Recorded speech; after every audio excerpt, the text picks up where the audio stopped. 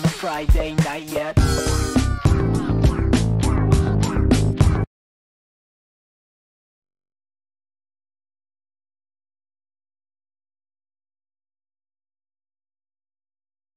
Three, two, one,